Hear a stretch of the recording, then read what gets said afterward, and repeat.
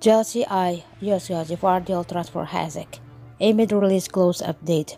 Chelsea have been handed an update in the rest of RB Leipzig defender Josko Gvardiol senator, with 20-year-old now having a release clause of 45 million euros or about 38.6 million pounds, as previously reported.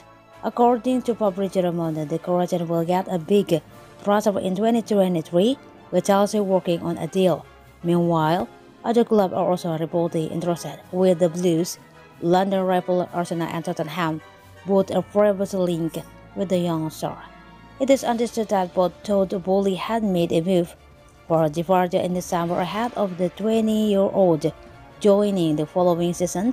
However, nothing materialized, but that hasn't stopped the West London outfit from making a second attempt to swoop for the highly sought-after defender.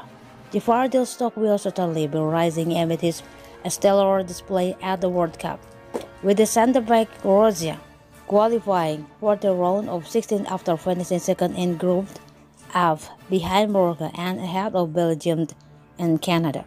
Against Belgium was the 20-year-old particularly impressive, as the 2018 World Cup finalists out the Red Devil in the a 0 to 0 draw, seeing them progress to the knockout stage and standing their European counterparts home in the process. The Leipzig defenders play in all three of Croatia's group mates thus far and will therefore be expected to start Croatia's round of 60 class again, Japan on Monday.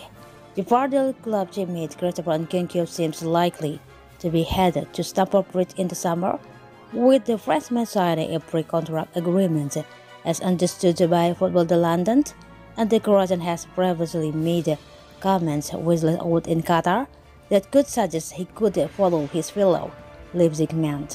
Speaking to the Athletic after Croatia 0-0 draw with Belgium, the 20-year-old said, It Chelsea a big club of course and who knows maybe one day I will be there it's really nice to see things like this, especially because there is Mateo Kovacic, so you never know I'll talk with him.